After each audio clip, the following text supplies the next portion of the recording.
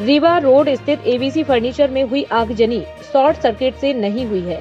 इस बात का खुलासा फायर शाखा की जाँच में हुआ है। एबीसी फर्नीचर में हुई आगजनी के कारणों की जाँच करने नगर निगम के फायर टीम, सहायक फायर अधिकारी आरपी सिंह परमार के नेतृत्व में पहुँची।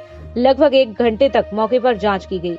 जाँच अंतर्गत स्पॉट पर किसी भी तरह का इलेक्ट्रॉनिक उपकरण, इलेक्ट्रिकल बोर्ड नहीं पाया गया है, जिससे यह स्पष्ट हुआ है कि आगजनी का कारण शॉर्ट सर्किट नहीं है। बिल्डिंग की जाँच में पाया गया कि मानक अनुसार फायर उपकरण स्थापित नहीं किया गया है और विभिन्न फ्लोर पर ओपन वायर, ओपन सर्किट पाई गई, जिससे स्पष्ट होता है कि बिल्डिंग का संचालन फायर मानकों के विपरीत लापरवाही पूर्वक किया जा रहा है। नहीं एबीसी फर्नीचर में आगजनी और फायर एनओसी के बिना कमर्शियल बिल्डिंग के संचालन के कारण फायर अधिकारी आरपी सिंह परमार द्वारा नोटिस जारी कर बिल्डिंग संचालक से जवाब मांगा गया है।